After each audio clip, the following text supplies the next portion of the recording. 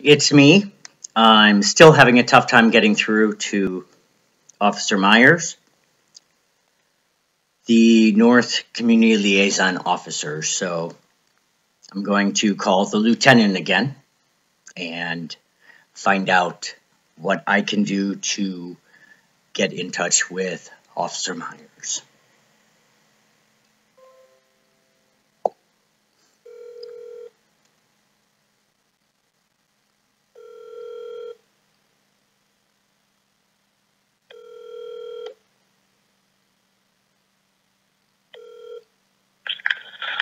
Lieutenant Kyle Kincaid, Community Liaison Section. Hello, Lieutenant Kincaid. This is Robert Milligan calling again. I'm still having difficult time getting a hold of Officer Myers. Um, the phone number, uh, 614-645-1403, is not accepting any voicemails. I was able to locate her, her email address, and I've emailed her a number of times and I haven't gotten a response from her yet.